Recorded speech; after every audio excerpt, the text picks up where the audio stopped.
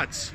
Uh, I thought the session was excellent. It really exceeded my expectation, challenged our thinking, and I think it really resonated with the broader team in terms of what we're going through, but also what we need to be thinking about for the future.